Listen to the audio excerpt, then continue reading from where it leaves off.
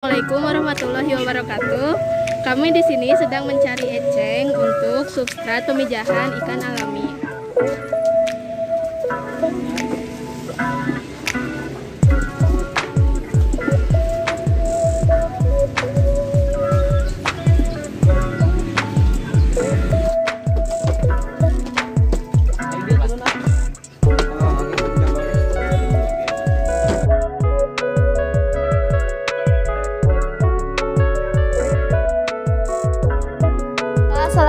Assalamualaikum warahmatullahi wabarakatuh. Di sini kami sedang memperbaiki kolam untuk budidaya ikan hias dengan mata pelajaran konsentrasi keahlian ikan hias yang dipandu oleh Ibu Dedeh Rohaini. Nah, di sini kami sedang membersihkan bagian-bagian kolam yang sudah rusak.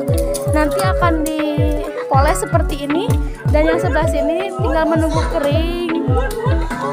Jadi ini proses untuk pembersihan terlebih dahulu memisahkan antara kolam yang bagus bagian kolam yang bagus dan yang jelek. Dan nanti akan